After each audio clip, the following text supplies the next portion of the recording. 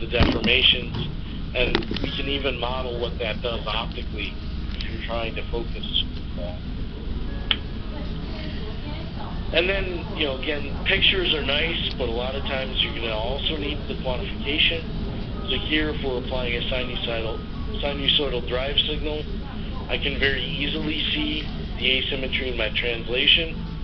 I only go about two, two microns in one direction, and I go almost 12 microns in the other direction.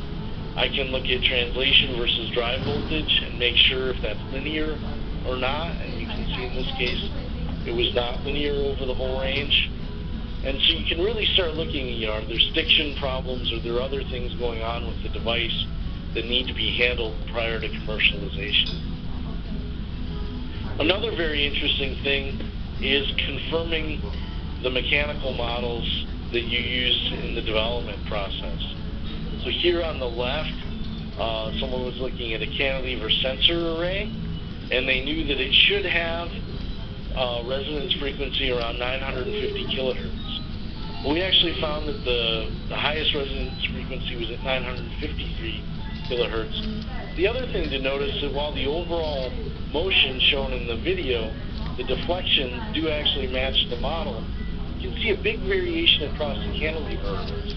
And we ultimately traced that back down to there was different thicknesses of each of the cantilevers that was unexpected from the process. And so some deflected more than others, and that means some would be a more sensitive detector than others. We talked already about using region finding software, so you can take a complex device like you see here, break it into component regions and characterize them separately for lateral dimensions, XY deflections, distortions, and uh, rotation characteristics. So there's a lot that you can do with your device once you can measure it easily and rapidly and flexibly. You know, there's uh, a lot you can can learn from quantification of characteristics. Just another example uh, for beam deflectors. So here we were looking at, at a series. What we were trying to do was evaluate crosstalk between mirrors. And so we could activate multiple mirrors at once, as you see here. We also did tests doing one mirror at a time to see whether there was electrical or mechanical coupling between one device and the next. And here we characterize sag, bow, deflection, overall range of tilt motion, things like that. And then unfortunately, this is the one video that I know doesn't work in the presentation. I was unable to locate the original one. But this is an interesting thing where you can even use the dynamic characterization to look, look at thermal responsivity of devices. This was a joint project between Sandia, MIT, and us, and we wanted to look at um, an optical switch. And it was very important to understand how it deformed when it was in the off position and essentially a high-powered laser was heating the device up. And so we did a series of experiments where we timed laser heating pulses with our strobing and were able to characterize the overall peak to valley deflection of the device when the laser was on and off. And we looked at that, we looked at a variety of devices with different coatings as well as under different drive characteristics. And we were even able to figure out the threshold of plastic deformation, so essentially the amount of power this optical switch could handle before it was permanently distorted through changes in the polysilicon structure. So this was a really uh, nice experiment that was done to show kind of more advanced quantification than simply driving a device at a given voltage. We have found the need over the years to support custom analysis and hardware control. So the MEMS field is so varied that there's people that want to use their own heater stages, they want to be able to use their own drive instrumentation, automate various probe planners, or even do analyses that are either proprietary or which are not standard in the software. And so we created actually some interface points where you can write things in MATLAB, you can control external hardware via TCP/IP, and even our system via that. So people have advanced uh, command and control uh, algorithms that they've written that can control our instrument, our analyses, as well as inserting their own. And so this is just something to consider in MEMS devices. You know, comprehensive packages are good, but you know, what what is the capability of extending that as new applications or new problems arise? So that's about the end of my talk here today. I just wanted to kind of summarize here that, you know, in our experience, 3D microscopy really provides very comprehensive MEMS characterization. Uh, it's a nice combination of fast measurement speed, extremely high accuracy, non-contact and non-destructive, and it provides both static and dynamic capability it's hard to talk, um, you know, especially with the proprietary nature of the various devices, about the applications in great detail. But one can characterize in-plane and out-of-plane motion, do Bode and Nyquist plots. You can look at lateral dimensions, steps, and roughnesses. And then, you know, over the years, there's a lot of customization and optimization for the MEMS community that has to come into uh, the measurement devices. And so that's everything from the specialized objective that we call a through transmissive media objective to look through at encapsulated devices or devices in environmental chambers, all the way to looking at uh, film analysis, having MATLAB and TCP/IP control, and customized fixturing. So you know, that concludes my talk for today. I'll now open up for uh, questions, and uh, you know, so please hold on the line. So, see what the uh, overall questions here are. So please, if you if you have further questions, uh, love to love to hear from you. So one question here is, you know, what is the maximum frequency that can be measured dynamically on the device? It's about uh, 2.4 uh, megahertz right now can be uh, measured on the devices. So anything from complete static devices all the way up to 2.4 megahertz. Uh, someone asks, can we measure velocity and acceleration of the motion? We can actually measure both of those. So we have advanced capability in our database where we can look at position and we can also look at derivative of position so we can give people calculations of both velocity and acceleration. We also have the ability to combine multiple metrics. So say it's important to know in terms of a pass-fail criteria, some combination of tilt angle plus displacement has to be less than a given value. You can combine results comprehensively to get more um, in-depth characterization of devices. Someone asked, you know, do, do you believe that we can look at seal to shaft contact behavior? we have, in a variety of situations, looked at um, contact of devices. You know, laterally is easy. Vertically, uh, if one is on top of one another, we need some level of transparency of devices. Another area where we've looked at contact behavior is since we can look through these encapsulation materials, we've actually had people press, for instance, glass or other material against devices, and you can look at the bearing ratio and contact area under various pressure conditions.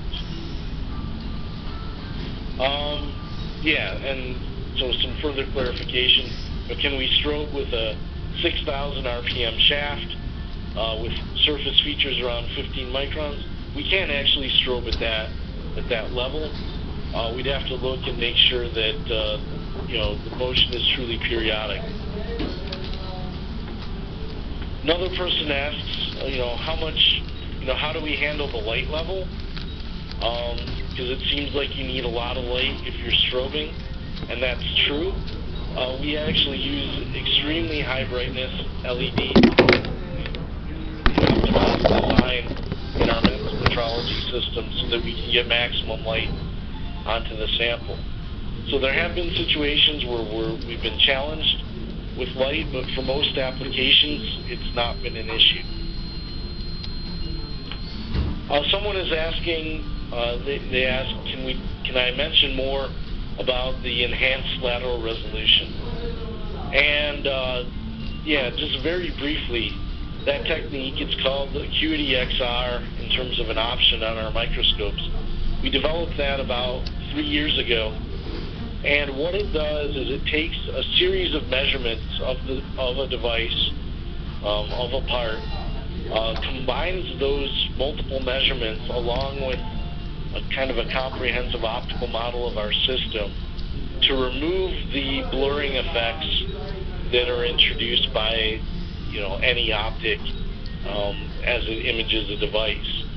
And with that combination technique, we've actually shown, as I said, more than a 3x improvement in lateral resolution and been able to go to features down to 130 nanometers uh, wide being characterized.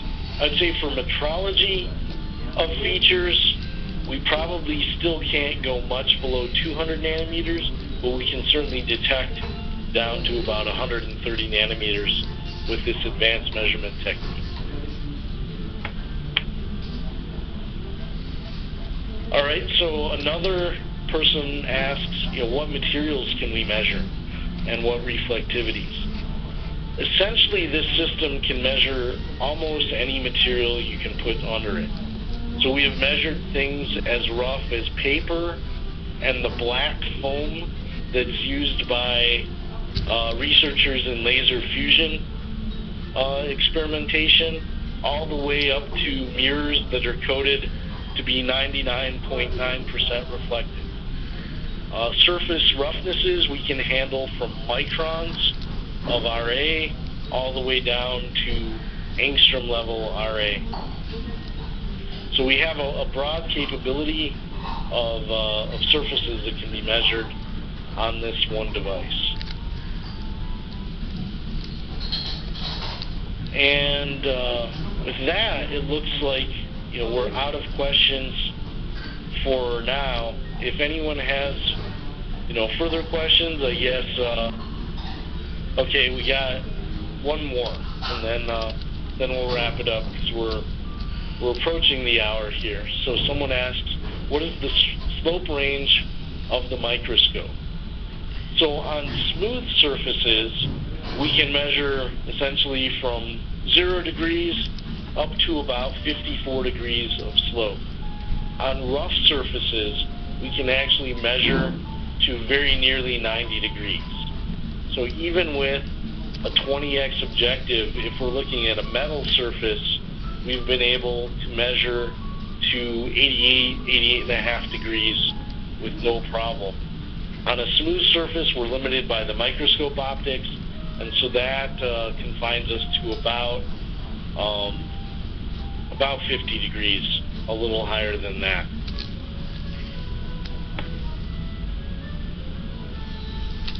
All right, well, with that, I think we will wrap up the presentation. Again, thank you everyone for your time today. Uh, my apologies. Ah, yeah, 90 degrees. One last thing, 90 degrees is based on scattering. Um, so thank you for your time. I am happy to entertain any further questions offline for you. We're happy to talk about, you know, sample measurements and, and other things. And uh, please take the time to uh, fill out those five survey questions at the end of the talk. And again, my apologies for the technical difficulties at the start of the presentation. So thank you all, and I hope to hear from you soon. Bye.